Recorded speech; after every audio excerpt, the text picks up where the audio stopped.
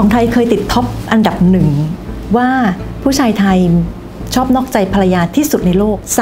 39%เป็นสาเหตุ ในเรื่องของ sexual relationship พี่เคยเจอผู้ชายที่ทักเพิ่งมีเซ็กส์ครั้งแรกอายุ 14 ปี จนเด็กผู้หญิงคนนี้เสีย self ไปเลย แล้วก็รู้สึกว่าฉันไม่อยากมีแฟนอีกแล้ว เพราะว่าฉันอาจจะมีปัญหา และฉันเองฉันก็ค้นพบว่าเวลาที่เรียนตอนเด็กเล่นยืดหยุ่นม้วนหน้าม้วนหลังแล้วแบบมีภาวะช่องคลอดถ่ายลมเขาก็เลยลิงก์กันว่า เธอไม่กระชับเธอหลวม แล้วเขาเนี่ยเคยมีภาวะจิ๋มโตฉันเนี่ยผิดปกติ ชีวิตนี้คือหนูจะไม่มีแฟนอีกต่อไปแล้ว ตอนนั้นอะให้ความรู้เขาส่วนเรื่องของเขาบอกว่าหลวมเชื่อไหมว่าในกลุ่มบอกว่าไปวัดเลยแล้วก็มาเทียบกับมาตรฐานชายไทย ก็ปรากฏว่าก็ไม่ได้มาตรฐาน วันนั้นเองน้องเขาแบบมีชีวิตขึ้นมาใหม่ มี mindset ขึ้นมาใหม่เขากล้าที่จะเดินต่อกล้าที่จะหาผู้ชาย อันนี้คือเด็กๆ ตั้งแต่ตื่นนอนถึงก่อนนอน พี่ก็จะแบบเข้ามาตอบงานกองมา 10 อย่าง พี่จะต้องทำอันนี้ก่อนที่จะไปทำอย่างอื่น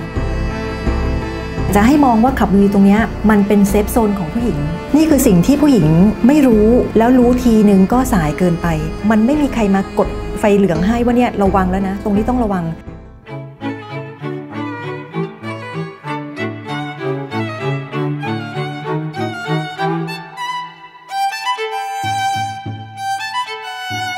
อย่าลืมนะคนที่ทักเข้ามาเนี่ยเขากำลัง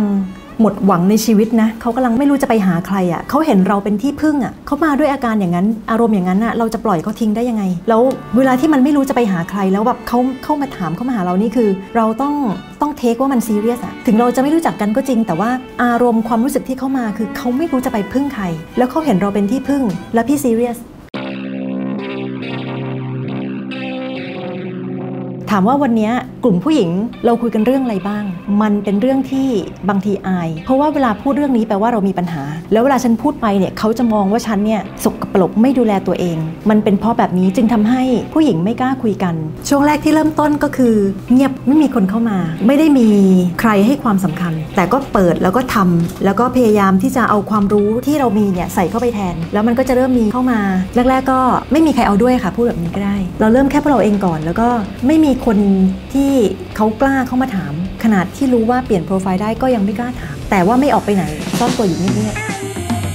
ขึ้นอยู่กับคนจะมองเห็นและทำมันขึ้นมา แล้วเราทำมันขึ้นมาเพราะเราตระหนักดีว่ามันคือเพนมาเรื่อยๆเลยค่ะ เพราะว่าแบบพอคนนึงตั้งขึ้นมาเรื่องหนึ่งเช่นโอเค เป็นตุ่มแล้วแบบไม่อยากโดนน้ำแสบ คนนึงก็มาเป็นเหมือนกันเลยค่ะ เหมือนกันเลยค่ะทำไงดีคะ อย่างนี้ต้องหาหมอไหมคะ อย่างนี้ต้องทายาอะไรไหมคะ มันก็จะแบบมาเรื่อยๆมาเรื่อยๆ ตอบไล่แบบทีละคนทีละคนเยอะแค่ไหนก็ไหวเฉลี่ยเฉลี่ยนะคะ ก็ประมาณสัก 200 ต่อไปทีตีห้าอะไรอย่างเงี้ย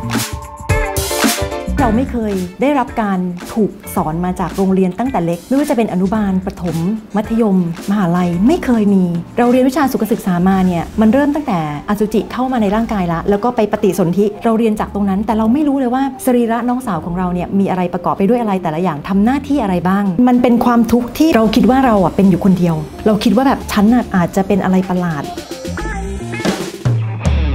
อาการของผู้หญิงที่ส่งผลกระทบถึงความสัมพันธ์เกี่ยวกับน้องสาว จะมี 3 อาการหลักๆ 1. กลิ่น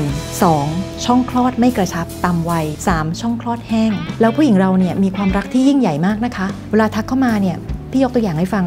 เจอกับแฟน 3 เดือนครั้ง อยากจะให้เขาประทับใจค่ะ ช่วงนี้รู้สึกเจ็บทุกครั้งเวลามีอะไรกับแฟนทำยังไงดีคะไม่อยากให้เขาไม่มีความสุข มันเป็นความรักที่แบบเป็นความคลั่งรักของผู้หญิง ที่ผู้ชายไม่รู้เลย พี่มีเคสหนึ่งสงสารมากๆ เป็นเคสที่แต่งงานกันมาแบบ 17 ปี แล้วก็ฝ่าฟันมีลูกกัน 2 คน อายุ 45 ผู้หญิงก็คือเริ่มมีภาวะช่องคลอดแห้งในขณะที่ผู้หญิงแบบลงไปอย่างนี้ ผู้ชายเท่าเดิม เรื่องนี้ไม่ได้คุยกันทำให้ผู้ชายเนี่ยออกนอกบ้าน ผู้หญิงต้องทนเจ็บเพราะเกรงว่าสามีตัวเองจะไปทำเหมือนเดิมอีกกลายเป็นว่าช่องคลอดแห้ง มันเจ็บเหมือนมีมีดกรีดทำให้เป็นแผลติดเชื้อ และมีปัญหามะเร็งปากมดลูก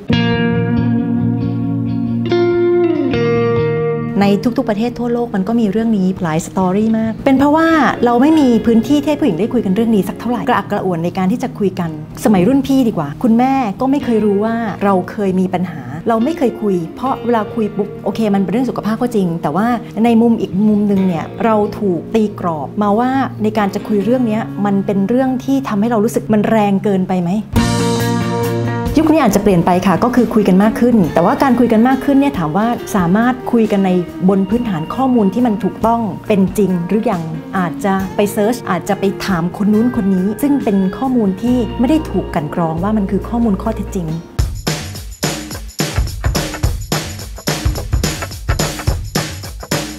ไม่เหนื่อย ใครถามเข้ามาเราก็ช่วยเข้ามาคุยเข้ามาแบบออกความคิดเห็นแชร์ประสบการณ์ แล้วมีความสุขรู้สึกอิ่ม รู้สึกมันเต็ม รู้สึกว่าเราคิดถูก แต่มันอยู่ในใจแล้ววันนี้มันเป็นอะไรที่แบบเวลาที่เราให้ข้อมูลข้อเท็จจริงกับผู้หญิงที่ทักเข้ามา และเขากลับไปดูแลตัวเองได้มันรู้สึกมีความสุข เราทำจนถึงกระทั่งวันนี้ผู้หญิงที่อยู่ในนั้นเขาบอกว่าเป็นกลุ่มเดียวที่เวลาว่างปุ๊บจะมานั่งไล่อ่าน เขารู้สึกว่าเขาได้ประโยชน์ แล้วเขาได้ความรู้หลาย ๆ ครั้งที่บางทีคุณหมอหรือว่าผู้เชี่ยวชาญต่าง ๆเขาไม่ว่างอย่างเงี้ยเวลามีคำถามปุ๊บคนในนั้นเขาช่วยตอบจากความรู้ที่เขาได้รับจากเรา เขาก็จะช่วยตอบ เป็นสิ่งที่พี่รู้สึกว่าพี่บรรลุมากกับการที่มีแพลตฟอร์มนี้ เพราะว่ามันเป็นอะไรที่แก้ pain point มันทำให้ผู้หญิงมีความรู้และถ่ายทอดให้กับคนที่เขารักได้